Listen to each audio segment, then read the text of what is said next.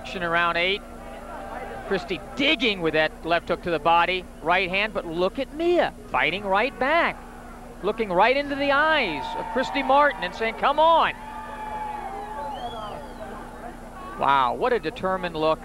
She feels like she's a winner already. Well, she said, uh, you know, at the very top of the show, I'm a winner just being here, no matter what happens in this fight. And no matter what happens in the last two rounds, there's four more minutes of boxing this girl's a winner. Kenner, Colonel, look at her face. She's, she still looks cover girlish. Yeah, she does. hey, the ninth round, Christy Martin and Mia St. John. Most didn't think it would be this far, and it's been an interesting fight. Christy really wants to try and take her out. Mia's happy with anything that she can do to hang in there now. And she's making a real good account of herself. Christy getting back to boxing now. Digging to the body downstairs, a light shot taken. I'm just amazed at the physical condition of Mia St. John to be able to gobble up the body shots that Christy Martin has hit her with throughout the course of the fight going back to the first round. I mean, cracking, slashing shots to the body throughout the course of this fight has one to the head that time. I'm also surprised that Christy hasn't been able to dump Mia. Uh, does that say something Well, about the punching power of Christy or the training? I think Christy, if she would utilize her jab more and come over with the, with the right hand, she might be able to, you know, uh, hit me out of here like that. But uh, she's so concerned about just working the body over, I don't think she thought Mia's rib cage uh, would, would hold up. Uh, Mia's also learned a little bit uh, from being on all of those Oscar De La Hoya cards, because some of her little maneuvers and side movements and angles are De La Hoya-ish, if you will. Oh yeah, she's a she's a better, more slick fighter than ever at any time in her in her career, and she's showing that, twisting the shoulders left and right. And meanwhile, she's losing, you know, just about every round, but surviving against Christy, even though you you, you hate to say it's just a, a question of survival. I mean, that's what her goal obviously is, and she's doing it, and she's thrilled with the fact that she's in there, and uh, there's 36 seconds to go in the ninth and next to final round of this uh, this fight. And Yeah, I heard- Christy, on the other hand, you know, you talked about the pressure that she's feeling, the frustration that she had going in here, and now I'm sure she's frustrated with what's going on. But you know something? It might set her up for another huge payday against uh, one of the other two big attractions of the step side of female boxing, and that, of course, is Lucia Rijker and Laila Ali. Well, the uh, promoters Don King and Bob Arum knew uh, that these two, you know, would add to their cards. Don, Don having Christy and Bob having uh, Mia. Look at Mia fight back here. Look at this! And she caught Christy right at the bell with a left hand. And again, for the third time in this fight, the crowd is on its feet here in Michigan. Wow! Put your hands up when you back up. I have this 89 to 83 for that young lady, Christy Martin. Pretty much winning every She's round. trying to get a good hook on. She knows she'd lose the fight. You're winning the fight. Are you sure? Oh, I know you're winning the fight. You lost the first two. You're not lost looking the me in the round. eyes. You haven't lost the round. Okay? You won't believe this. Don't Look at set that head scorecard. up here. I've got it exactly the same. on, hey. 93. Say, you got four Can't hit. Jim Martin. Last round. That's how let him work inside. I think they're just shocked that they're still here.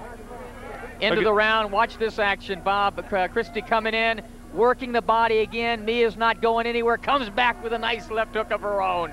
Doesn't have the real power to hurt Christy Martin, but she's trying. What she lacks in power, she certainly has in desire. Listen to the crowd. And again, to start the round, everyone on their feet here in Pontiac, Michigan. Let's go. If you're enjoying it at home as much as they're enjoying it here, you're enjoying this night of boxing. All right, this is it, the 10th and final round. Christy Martin trying to take out Mia St. John. Mia has not been down in this fight. Christy hasn't able to stop her. Needless to say, she hasn't been able to stop her, but she hasn't been able to drop her. And she's had, well, she's had flashes of brilliance herself from time to time. Mia's showing us a lot of strength, though, too. Look at how strong she Look is. at this, Smitty. Look at them toe to toe. There's no quitting either one of these women, right to the finish. It surprised me. He has never been to the 10th round in her life, and they're battling like two warriors. But they really are warriors. No. You think Julio Cesar Chavez and a few other, uh, even the late Salvador Sanchez, and they would be proud of, uh, of Mia with her performance. She's not just trying to survive, she's trying to win this round and the fight. Well, I'll tell you this. If you're not a uh, female boxing fan or haven't been and you just happen to be catching this pay-per-view someplace, I bet you you're a female boxing fan now. You couldn't ask for more desire or a better show put on by two women. Uh, you couldn't ask for by two men any better than this, I'll tell you that. 49 seconds to go in the fight. Toe-to-toe they've been for the first minute of this one. Christy wants the knockout so bad, and Mia won't have any part of it. Neither fighter has been down. Neither fighter really visibly shaken during the course of the fight. Christy's loaded up a huge amount of body shots during the course of the fight, and Mia has had, well, six or seven or eight different times, and she's landed shots, surprising shots. She hasn't been able to shift Christy, but she certainly has made it interesting. And the crowd chants Mia, Mia, everything really going against Christy except the scorecard. I, I asked the question, how would she react to the power of Christy Martin? We see the result. 10 seconds to go in round 10. She's weathered the storm. She hasn't won the fight. Okay, the closing seconds of the fight. Let's see if they finish with a flurry. And it's Mia who bangs Christy on the break. And they load up one final shot. And there's the bell ending the fight. Well, I'll say this for Mia St. John. I got to congratulate her on a tremendous effort. And Christy Martin, who had a lot going against her coming into this fight, we congratulate her on winning the fight. Wow, it was certainly uh, a you know, a terrific contest to watch. Uh, it was interesting as we really looked for the situation where Christy Martin would knock out Mia St. John, and it wasn't going to be, as you see them hoisting Mia up on the shoulders. Well, for Mia St. John, it's a victory. It'll ultimately go down, in my opinion, as a victory for Christy Martin. I have it 99 to 93 for Christy Martin, but uh, uh, Mia St. John is more than just a, uh, a centerfold. And I get it 99-92, so uh, one way or the other, uh, I think the judges will have it someplace around the way we do. Action in the last round was uh, heated. Look at Mia landing punches left and right. Christy battling right back, really working hard for the knockout. All right, Jimmy Lennon Jr. has the decision, so let's make it official by going to our ring announcer, Jimmy Lennon. Take it away, Jimmy. Ladies and gentlemen, after 10 rounds of action, we have a unanimous decision. Here are the score totals.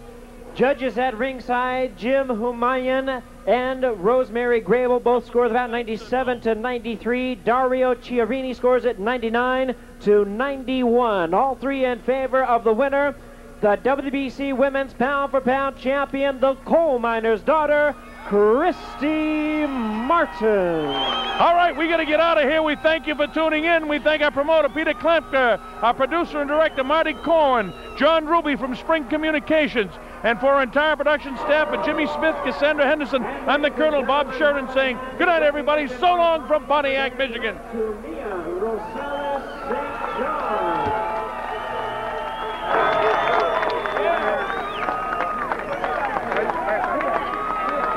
guys.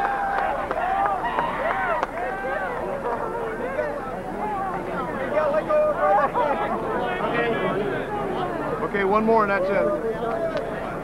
Okay, all the way around. Thanks.